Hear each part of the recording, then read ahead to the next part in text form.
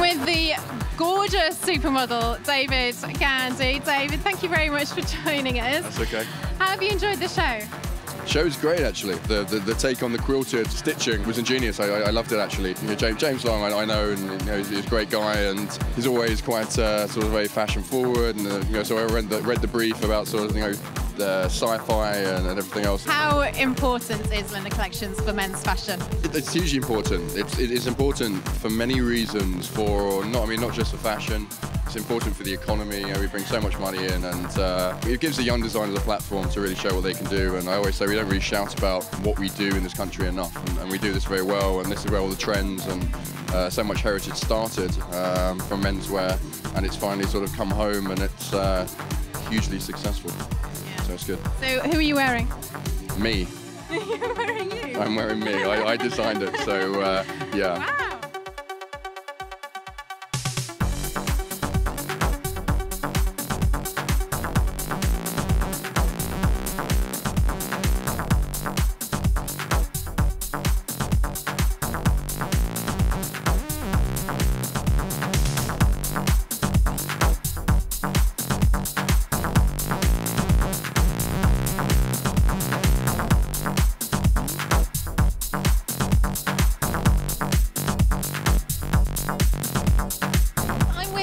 Dylan Jones, editor of GQ magazine. Dylan, thank you very much for joining us. Pleasure.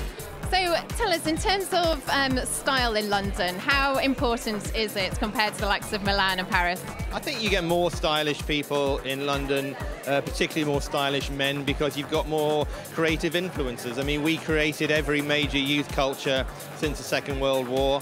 Um, we have great heritage with Savile Row we have the best menswear designers in the world. So in terms of what men wear on the street, you'll see more inventive things here than anywhere else. Nowadays, men expect to buy really good clothes at very reasonable price points. And the great thing is that you can walk into a designer store, a bespoke tailor's, or you can go to the high street and you can get fantastic clothes. And I think that all you got to do is spend 20 minutes walking through various high street clothes and you get a pretty good sense of what's going on.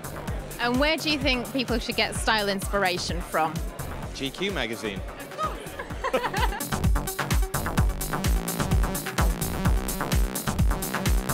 I'm joined by model here at the men's collection, Louis Evans. Uh, I don't know if you can get us both in the same shot. He's quite tall. I need some yellow pages to get on.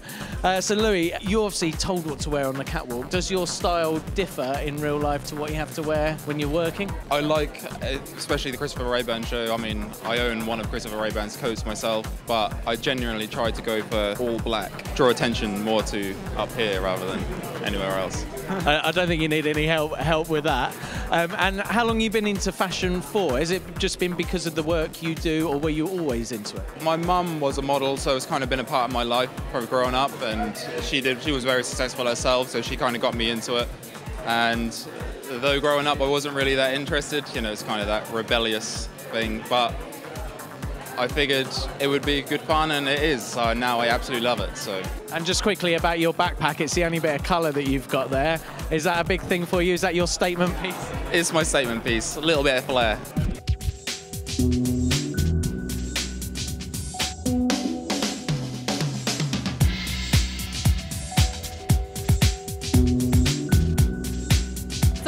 Thank you very much for joining us. So, who are you here to see today? Andrew, my stylist, because I haven't seen him since you know since last year. Oh my Yeah, we're going to go check out. We're going to bring here. him in. Come, come on, on, come on, come on, come on, come on, bring him in, bring him in, come on.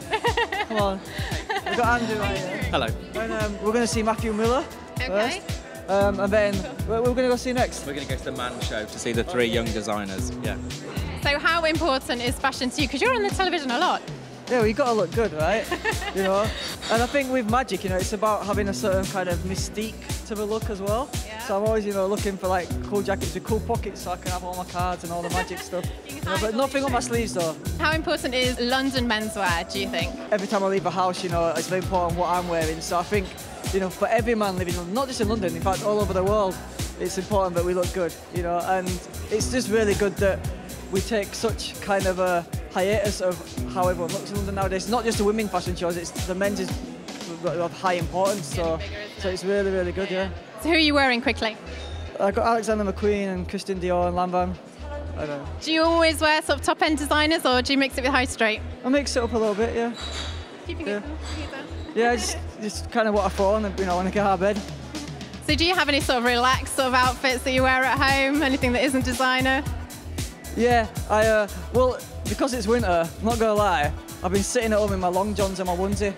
You know, I've got to keep warm, haven't you? You got to, you got to keep warm. Well, Dino, I won't keep you. Thank you very much for joining us. Thank you.